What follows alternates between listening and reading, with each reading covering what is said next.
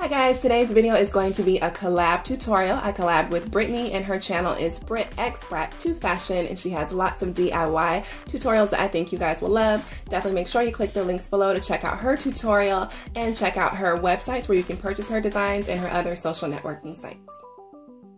Today I'm going to show you guys how to make this DIY floral jumpsuit with a zipper closure. To start off with, for your sleeves and bodice patterns, I have two previous tutorials. In the first one, I show you how to draft your own pattern pieces for the bodice as well as the sleeves. And in the second one, I show you how to alter the bodice patterns to add a zipper. I really like making pattern pieces myself. and this way, I can use these pieces in lots of different applications like this jumpsuit today. So to start off with, I have my fabric folded over and I'm going to take my front bodice piece and I'm going to lay that down along the fold and you can see I have it marked here. Go ahead and cut that piece out and you should have one front bodice piece that looks like this. Next, you're going to go ahead and take your back bodice pattern and you're going to cut that out and you'll end up with two pieces. On the wrong side of the fabric, I applied interfacing that was about an inch wide and just pressed that down. I did this because my fabric is lightweight and I wanted my zipper to lie nice and flat. And this is what your two pieces should look like once you're done that. And I went ahead and serged off the edges just to make it look nice and neat, but that is optional. Next, go ahead and take your two pieces for your bodice and line them up right sides facing right sides and sew a basting stitch all the way down. Remember, you're not going to back stitch at the ends. You're just going to sew one long basting stitch all the way down. And this is what it should look like once you've done that. I went ahead and pressed my seam flat. And you guys can see the interfacing here on the underside. Just go ahead and flip that piece over and you're going to line up your two bodice pieces with right sides facing right sides. And you're gonna go ahead and sew your side seams and your shoulder seams.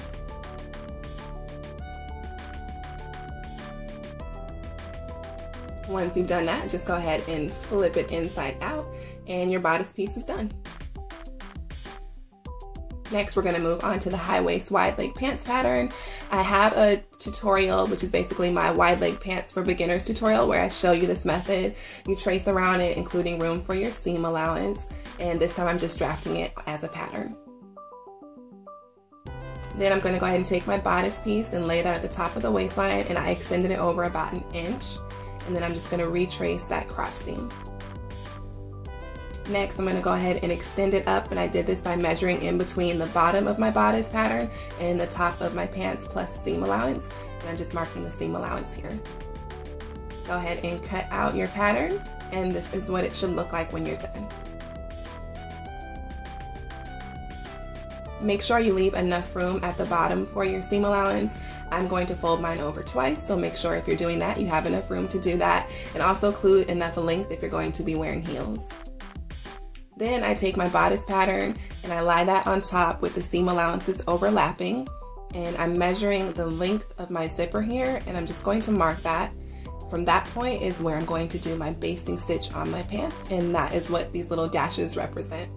Go ahead and cut out your pattern piece for your pants and you're going to sew down each side of the pants with right sides facing right sides.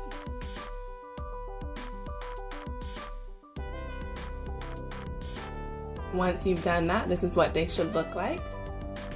You want one of your pant legs to be folded with the wrong sides facing out and the other with the right sides facing out. The pant leg that has the right sides facing out, you're gonna go ahead and tuck that into the pant leg with the wrong sides facing out. And you're gonna line it up nice and neat. And then you just want to go ahead and pin down at the crotch seam first just to make sure it's lined up even. And then you're going to pin and sew down each of the other sides, which will make up your front and back center seam for your pants. Once you've done that, this is what it should look like. And it doesn't matter on which side, but on one of the sides, you'll want to go ahead and do your basting stitch. And you guys can see my basting stitch starts here and then goes up to the top of the pants. And here is what the pants look like when they are folded with the right sides out.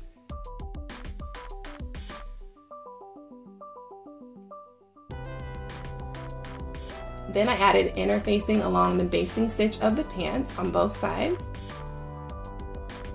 Just like you did with your back bodice patterns, I'm just gonna open that up and then go ahead and press that seam down with my iron.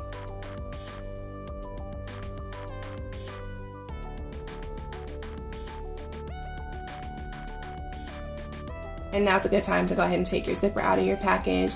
You're gonna press it down with low heat to make sure that it's nice and flat, and you can go ahead and set that aside. Working back with the pants, I pin about an inch from the center seam, and I'm gonna do a basting stitch from pin to pin. Make sure you leave the threads on the end long because it just makes it easier to gather and pull your fabric together for your basting stitch. I'm gonna go ahead and tuck my bodice into my pants. You want your bodice to be facing right sides out and your pants to be facing wrong sides out.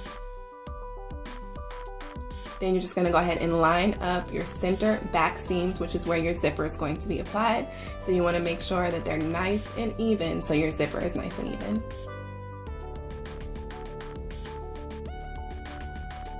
Now I'm gonna go ahead and start pulling on the bobbin thread, which is the thread that's underneath. And once you pull on that, you'll notice that your fabric will start to gather. And we're doing this again because your pants are wider than your bodice. So you just want to gather and pin it all the way around until they are both the same size and they match up nice and neatly. Go ahead and take that to your machine. And then I start on one side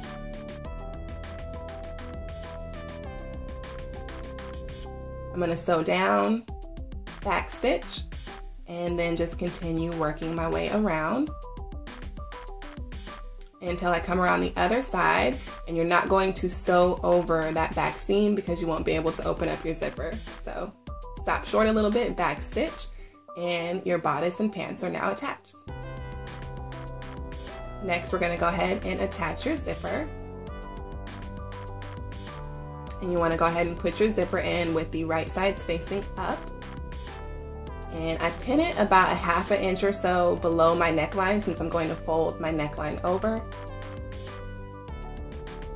And I'm just going to pin it all the way down. You can see I pinned it here, extending all the way down into the pants. And you just want to sew down, over, and all the way back up. Once you've done that, you're going to take a seam ripper and take out your basting stitch. And you have completed your zipper. All you need to do now is just go ahead and cut off the end of the zipper on each side. And first I do go ahead and serge the neckline just so it's nice and neat and because I'm only folding it over once. Go ahead and pin it down all the way around the neckline and then you're just going to top stitch over the neckline which is just sewing on top of the fabric then you just need to go ahead and hem your pant leg. If you would like to know how to add a pocket to this, definitely click anywhere in this video or I'll have the link below for that tutorial. And here is another look at the finished product. You can choose to add sleeves, you can choose to leave the sleeves out, you can make it high waist shorts, change it and customize it any way you like. But thank you guys so much for watching. I really hope that you enjoyed this tutorial. Definitely check out how I styled this pic on my blog. I'll have the link for that below. And if you try this tutorial out, I would love to see, so you guys can tag me at Nadira037. I also have this great giveaway going on right now from Maymuna Accessories. You can win all four of these pieces and there's still time to enter. The giveaway ends on Sunday, so definitely click anywhere on this video or check out the link below so you can get a chance to win these gorgeous pieces. Thank you guys again so much for watching watching. Be sure to subscribe, comment, share, and give the video a thumbs up. And remember, if I can do it, so can you. Until my next video, Assalamu alaikum. Peace.